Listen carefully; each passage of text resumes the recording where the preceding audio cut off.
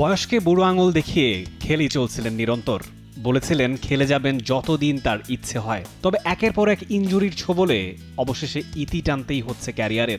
ইতালির বিশ্বকাপ জয়ী গোলকিপার জিয়ান লুইজি বোফনকে আর দেখা যাবে না ফুটবলের বর্ণিল প্রাঙ্গণে। ক্যারিয়ারের শুরুটা সেই উনিশশো পঁচানব্বই সালে ইতালিয়ান ক্লাব পারমায়। তার খেলা ছয় বছরে পারমা জেতে কোপা ইতালিয়া ইউএফা কাপের মতো বড় শিরোপা। তার অনবদ্য গোলকিপিংয়ে গোলকিপারদের ট্রান্সফার ফির বিশ্ব রেকর্ড গড়ে প্রায় তিপ্পান্ন মিলিয়ন ইউরো খরচায় তাকে দলে ভেড়ায় ইউভেন্টাস। পরের আঠারোটা সিজন একটানা খেলে গেছেন ইউভেন্টাসেই। নাম্বার ওয়ান জার্সিতে গোলবারের সামনে বুফন যেন হয়ে উঠেছিলেন দুর্ভেদ্য এক দেয়াল। সব আসর মিলিয়ে আলেসান্দ্রো দেলপিওরের পর দ্বিতীয় সর্বোচ্চ ছয়শো পঁচাশিটা ম্যাচে খেলেছেন বুফন। নামের পাশে আছে সবচেয়ে বেশি দশটা সেরিয়া, পাঁচটা কোপা ইতালিয়া আর ছয়টা সুপার কোপা ইতালিয়ানার শিরোপা। তবে তিনবার ইউএফএ চ্যাম্পিয়ন্স লিগের ফাইনাল খেললেও একবারও শিরোপা না ছুতে পারার আক্ষেপটা পুড়িয়েছে বুফন ভক্তদের। সতেরো বছরের সম্পর্ক চুকিয়ে দু হাজার আঠারোতে পিএসজিতে নাম লেখান বুফন।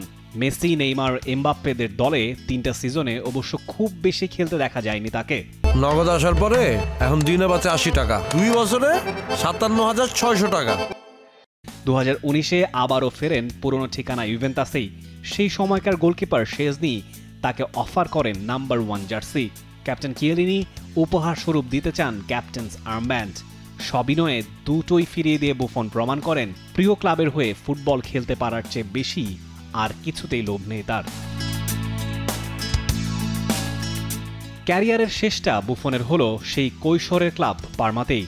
সেরিয়াতে তোলার প্রাণপণ চেষ্টা করেছিলেন ক্লাবটাকে, কিন্তু সে আশায় গুড়েবালি, উল্টো হ্যামস্ট্রিংয়ের ইঞ্জুরিতে লম্বা সময় তাকে থাকতে হয়েছে মাঠের বাইরে।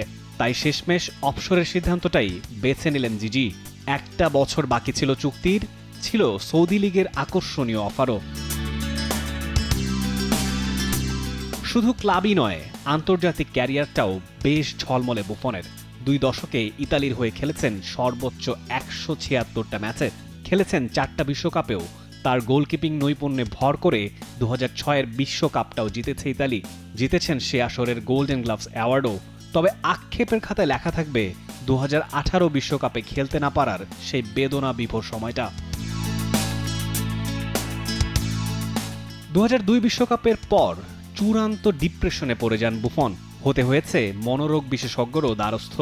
সেই ধ্বংসস্তূপ থেকে ফিরে এসে বিশ্ব জয় করেছেন। সপ্রতাপে খেলে গেছেন আটাশটা বছর। খেলার প্রতি তার তীব্র ডেডিকেশন ক্লাব ও জাতীয় দলের প্রতি বিশ্বস্ততা আর কঠোর পরিশ্রমের মানসিকতা। সবে মিলে জিয়ান লুইজি বুফন পরের প্রজন্মের জন্য হয়ে থাকবেন প্রকৃষ্ট একটা উদাহরণ।